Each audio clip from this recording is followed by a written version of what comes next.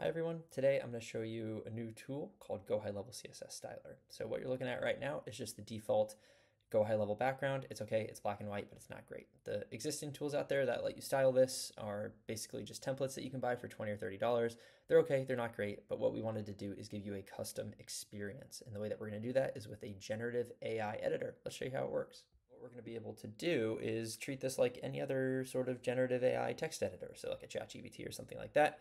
We have all of our chats and we have a new one right here. So we're just going to go ahead and paste in uh, a little prompt that I have ready, but it's a primary, secondary, and tertiary color with a bit of a theme.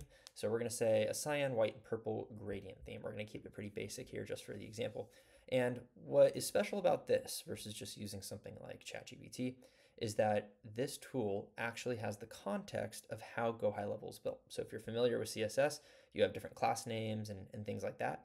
And so ChatGPT doesn't know what those are. It doesn't know how to target the buttons or how to target the backgrounds or you know what the background of the body is called. And so that's why this is so powerful. So it's going to generate you some CSS over here. It's going to generate some JavaScript as well that we're going to paste in. So I'm going to show you where to do that. And then, yeah, we're going to be good to go. I'll show you what the output is.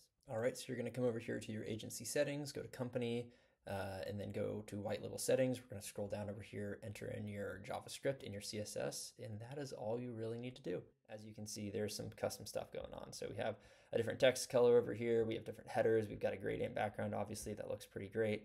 Um, and yeah, it's going to apply it to, to your whole site, basically. So yeah, this is a this is a pretty cool tool that you can use. Um, and then once you have all the code, you can do with it what you please. So if you are a little bit more savvy with CSS, you can go in and edit it and customize it however you want, or you can just continue to talk to the editor and say, make the text white or make the button red, you know, things like that. So I hope you like it. Uh, if you find this useful, go ahead and share it with uh, the whole Go High Level community um, so we can all get behind this and have a little bit more control over how our uh, styling looks in our GHL dashboards. Thanks, everyone.